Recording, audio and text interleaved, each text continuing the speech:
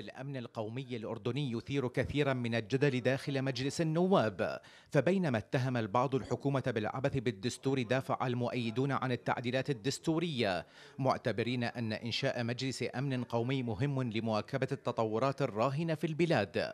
الحكومة لم تكتفي بالعبث بكل شيء والآن تعبث بالدستور. هذا العبث ليس فصلا بين السلطات هذا خلط واضح. هذا تجاوز على أركان الحكم الواردة في الدستور. التعديلات الدستورية التي تمت اليوم هي جزء من مشروع سياسي متكامل قدمته الدولة لا تحت الضغط وإنما بفعل الأزمات الكبيرة التي حدثت في الآونة الأخيرة منها أزمة ناعور وأزمة الفتنة.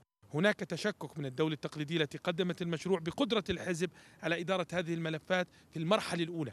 لذلك أخذت هذه الصلاحيات مجلس الأمن القومي المزمع إنشاؤه سيتألف من رئيس الوزراء ووزير الدفاع ووزيري الخارجية والداخلية إضافة لقائد الجيش ومدير المخابرات وسيعقد بأمر من العاهل الأردني.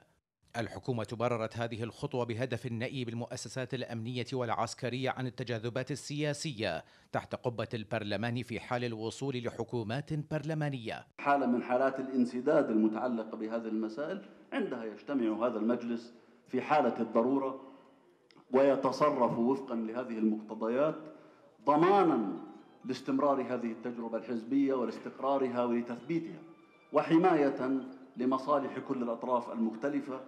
ثلاثون مادة في الدستور الأردني عدلت خلال الأسبوع الماضي. ركزت على حماية الأحزاب من التدخلات الأمنية وتنمية مشاركة المرأة في الحياة السياسية وأخرى تتعلق بدعم ذوي الاحتياجات الخاصة. هذه التعديلات ستحول وفق الدستور إلى مجلس الأعيان للتصويت عليها قبل إرسالها إلى ملك الأردن للمصادقة النهائية. بعد أيام من النقاش والتصويت تحت قبة البرلمان الأردني طويت صفحة التعديلات الدستورية والتي تؤسس لمرحلة سياسية وحزبية جديدة قبيل البدء بمناقشة قانوني الأحزاب والانتخاب في البرلمان خلال الأسابيع المقبلة. حيدر العبدلي الحرة عمان.